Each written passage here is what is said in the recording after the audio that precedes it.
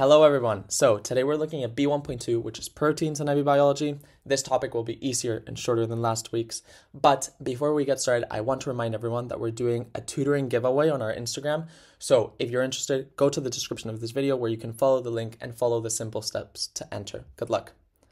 Firstly, like last time, uh, here's a question that you might see. If you know how to answer this question, you might be good. Otherwise, I strongly encourage you to stick around. So let's start off by looking at the structure of amino acids. So amino acids are the monomer, the subunit that forms proteins.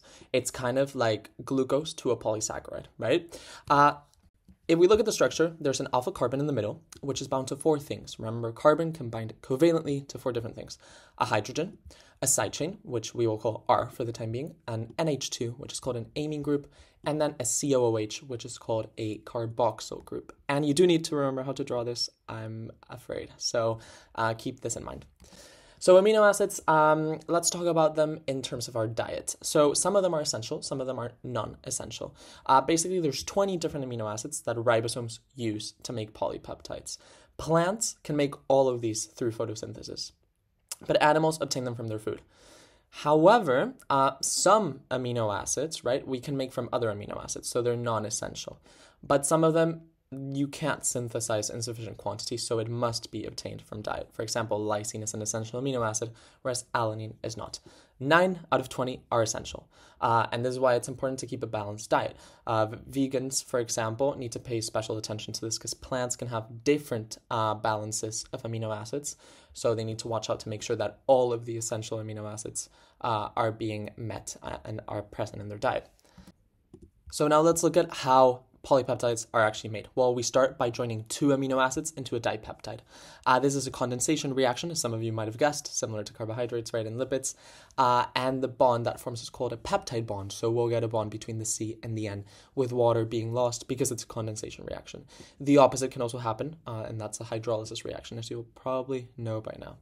Because the bond happens between the carboxyl and the amine group, the R group doesn't really matter in this reaction, right? So any two amino acids can bind to each other um, which is great because it generates a lot of diversity.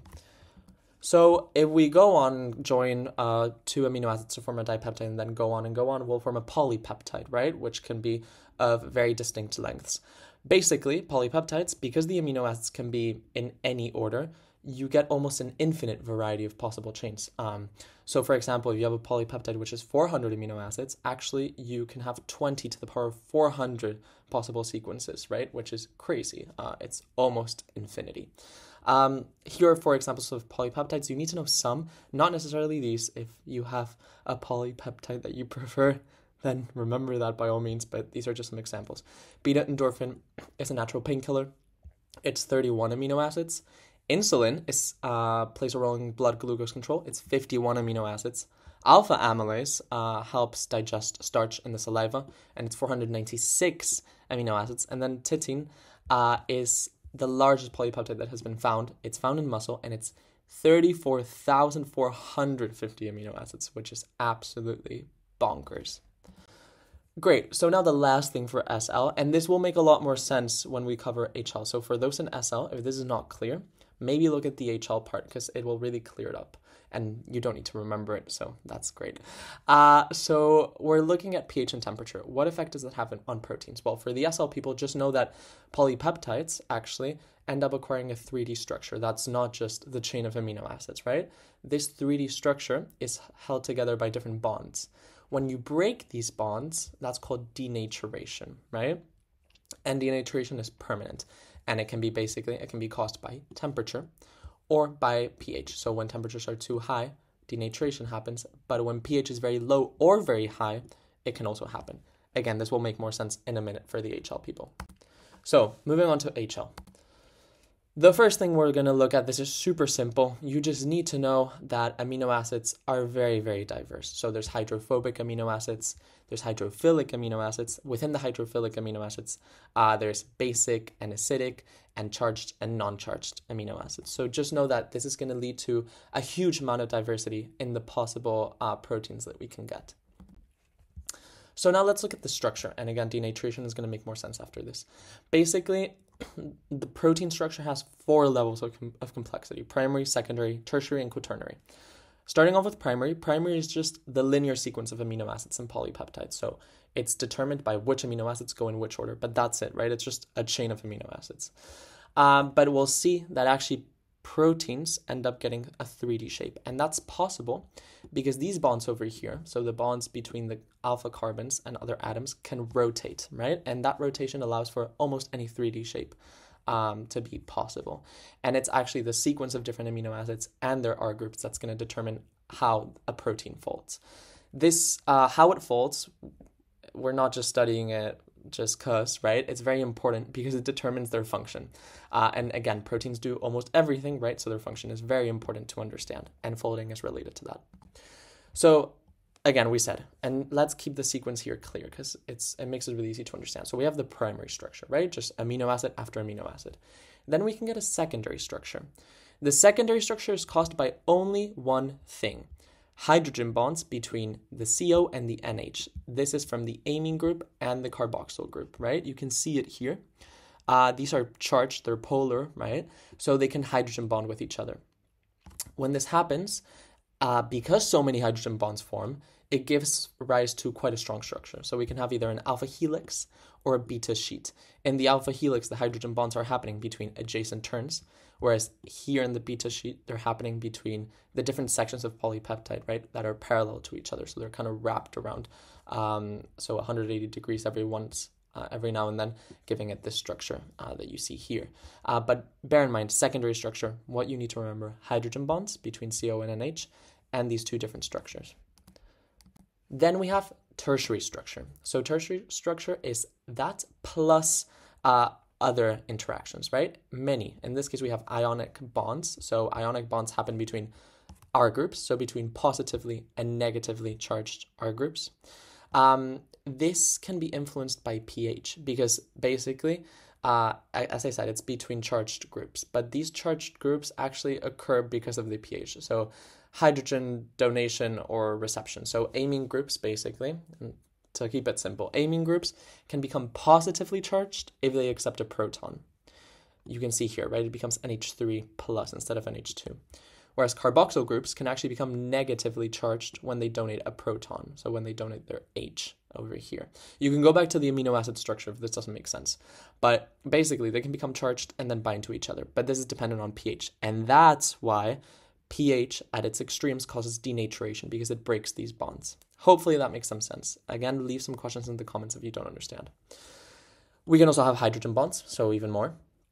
We can have disulfide bonds. This can only happen between cysteines. So cysteine is a type of amino acid, and it can it has sulfur in it, right? So it's the only one uh, where it can happen, and this is the strongest interaction of all. Why? Because it's a covalent bond.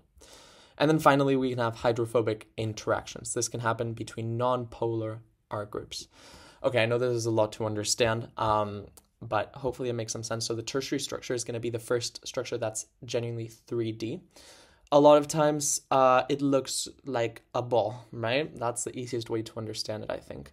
Um, and sometimes, and this is when it gets messy, sometimes the tertiary structure will have some secondary structures within it, right? So it might have some alpha um, helices or beta sheets within it.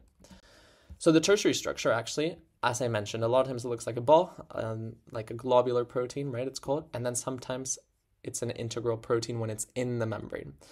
These two have different characteristics. So something important to understand is how does the protein fold into this sort of ball, right? This globular form. Well, the hydrophobic amino acids, okay, important. The hydrophobic amino acids don't want to be close to water.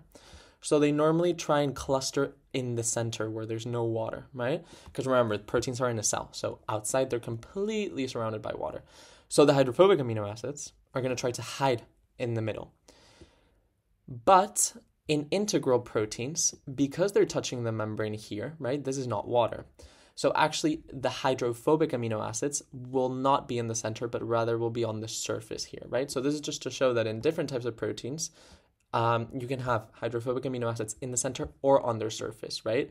Depending on what's outside. Water over here, right? And then hydrophobic amino acids will be here. Or if this is nonpolar, such as a, phospholipid membrane, then you will have the hydrophobic amino acids here as well. Hopefully that's that makes some sense.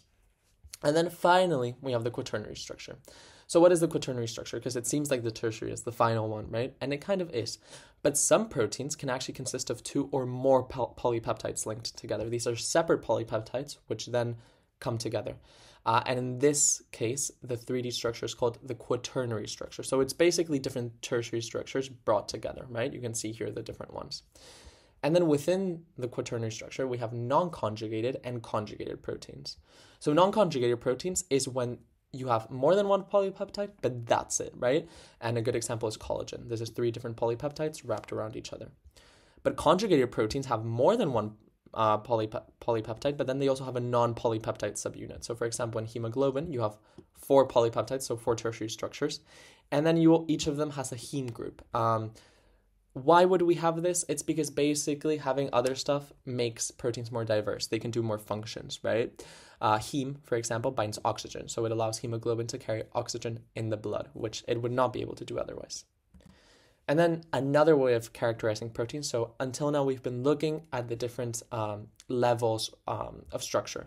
But then proteins, in the end, can be classified into fibrous or globular and this determines their function.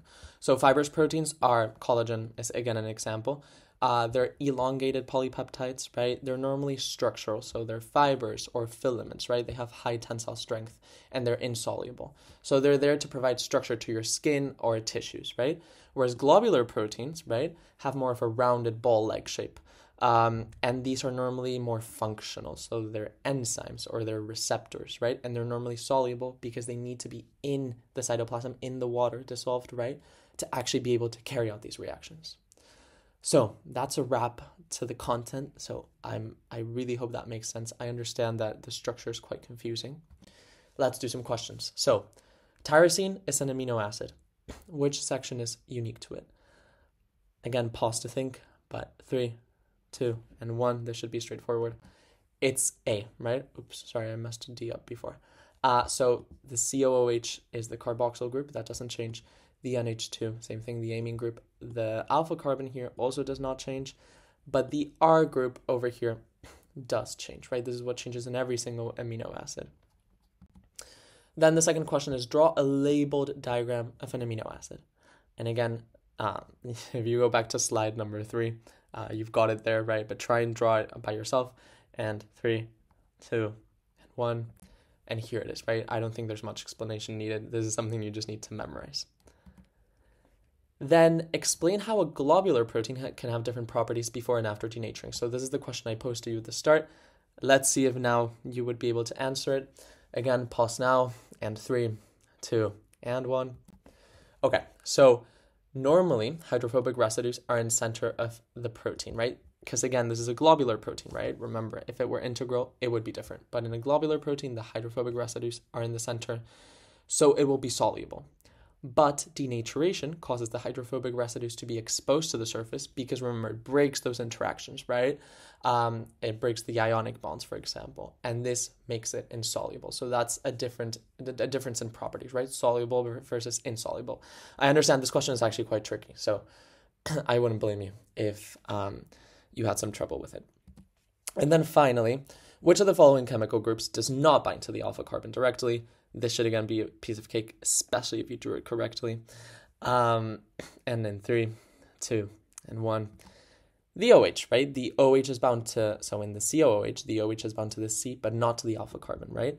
The only things that are bound to the alpha, carbon are H and H2, the COH, and the R group. Amazing. So that's the end of this topic. As I said, it's briefer than the last, which is good.